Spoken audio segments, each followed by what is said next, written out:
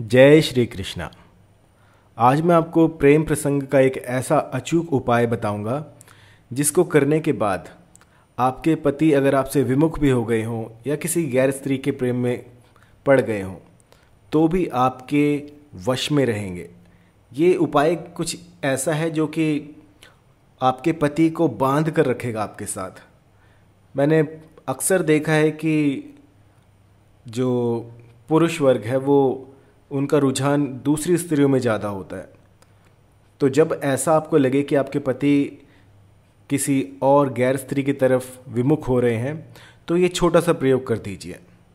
आपको करना इतना है कि जो आपका मासिक धर्म हो, उसका पहला दिन, उस मासिक धर्म के कपड़े को आपको काले तिल में लपेटना है। काले तिल उसमें डालने हैं आपको कपड़े में और जो है, वो कपड़ा आपको किसी ऐसी जगह पर गाड़ देना जहाँ पर कि कोई आता जाता ना हो।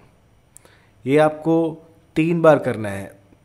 और याद रहे, ये सिर्फ़ पहले दिन का कपड़ा होना चाहिए।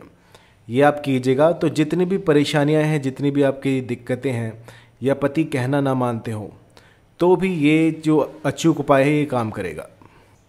अक्सर महिलाएँ पूछती हैं कि ये कौन से दिन करना है और क्या समय होना चाहिए, क्या वार नक्षत्र सब देखना पड़ेगा।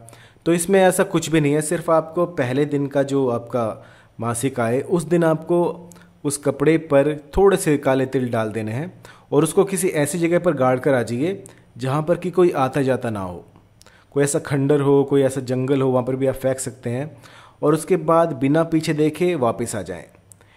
इसके बाद हफ़्ते भीतर आपको इसका असर दिख जाएगा। अगर फिर भी कोई दिक्कत, परेशानी आए तो मुझे कॉल कीजिएगा, eight six zero seven eight four nine one six two पर।